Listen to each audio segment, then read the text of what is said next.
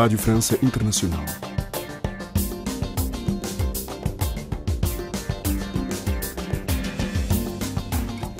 Segunda parte desta emissão informativa aqui na antena da RFI é em português. Esta segunda-feira temos a rubrica de esporto. Marco Martins faz-nos o rescaldo do CAN. No espaço convidado, Cristiana Soares entrevistou o Ministro das Relações Exteriores de Angola, Tete António, sobre a Cimeira da União Africana que terminou ontem em Addis Abeba, na Etiópia.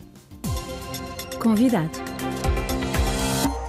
A chefiar a delegação angolana na 35ª Cimeira de Chefes de Estado e de Governo da União Africana, que decorreu este fim de semana em Addis Abeba, na Etiópia, esteve o Ministro das Relações Exteriores, Tete António.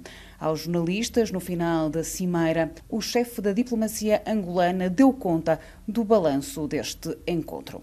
Relativamente ao balanço, eu penso que a Cimeira tomou algumas decisões importantes. Primeiro é a questão é, candente, que é a questão de saúde. Não é? Relativamente à questão das pandemias, a Cimeira adotou, portanto, a operacionalização do Centro de Controlo de Doenças, nomeadamente o fundo, o fundo para as pandemias. E depois dá-se uma personalidade jurídica mais eh, reforçada a este órgão, que é para poder realmente fazer face às doenças também. Eh, criar antenas regionais que é importante para que todo o continente seja aberto de forma atempada quando acontecerem pandemias. Depois é a operacionalização da, da Agência de Medicamentos Africana. Como sabem, é um dos problemas que, que, o continente enfrenta, que são, é a qualidade de medicamentos que vem para a África. Há muitos medicamentos falsos, mas é preciso que nós próprios criemos essas condições. Portanto, o paz e segurança, é, o relatório paz e segurança, com certeza, são as situações de conflito que já conhecemos, mas também foi renovado o órgão importante que é o Conselho de Paz e Segurança. Portanto, há 15 novos membros do Conselho de Paz e Segurança, porque na verdade é o órgão que deve cuidar desses desafios que o continente tem hoje em matéria de paz e segurança. Agricultura, claro que foi o tema. Falou-se de nutrição, falou-se de, resiliência e a agricultura continua a ser uma prioridade do continente. Do balanço geral da Cimeira para o balanço em relação a Angola. O ministro das Relações Exteriores, Tete António, anunciou o facto de Luanda liderar a organização da Cimeira sobre o terrorismo a decorrer no final do mês de maio em Malabo, na Guiné Equatorial. Relativamente ao balanço de Angola, penso que para Angola, primeiro fomos eleitos, portanto, membros do Biro, representando a África Austral, e segundo, a decisão que foi tomada hoje de nós podermos organizar a, Cimeira sobre o Terrorismo. Como sabe, durante dois anos eh, não houve possibilidade de implementar essa decisão e foi graças à insistência da delegação angolana essa cimeira vai ser organizada no fim, maio, no fim de maio não, em Malabo, portanto, na Guiné Equatorial. Portanto, haverá uma cimeira sobre questões humanitárias. Ao mesmo tempo, é, no segundo dia, vai se organizar a cimeira sobre terrorismo e extremismo violento. A delegação angolana também defendeu que era preciso alargar um pouco o tema.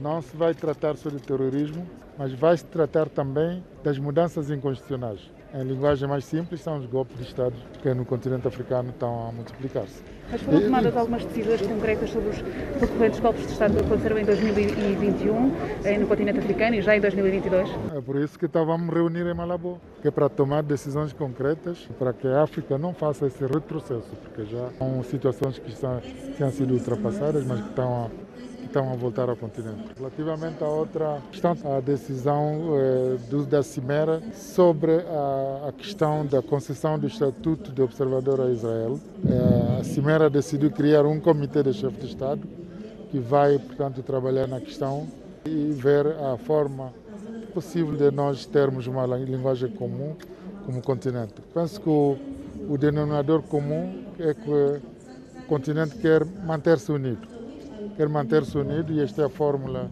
uh, mais sábia que se encontrou para, para nós podermos analisar essa questão e, como não podia deixar de ser, de fora das discussões dos chefes de Estado e do Governo da União Africana, não ficou a cimeira com a União Europeia, prevista para os dias 17 e 18 de fevereiro em Bruxelas, um encontro que decorre sob a presidência francesa da União Europeia. Teté António fala numa mudança de formato. Já, já foram passadas algumas linhas de forças a primeira linha de força é um pouco mudança de formato, que geralmente nós temos o discurso de abertura, depois outros chefes, também, chefes de Estado também fazem discurso. O que se pretende agora é termos, portanto, temas identificados sobre os quais os chefes de Estado africanos e europeus vão interagir. Portanto, vão trabalhar de forma interativa em vez de fazermos discursos gerais e termos conclusões que vão a soluções concretas. As declarações de Tete António, ministro das Relações Exteriores de Angola, ele que em Addis Abeba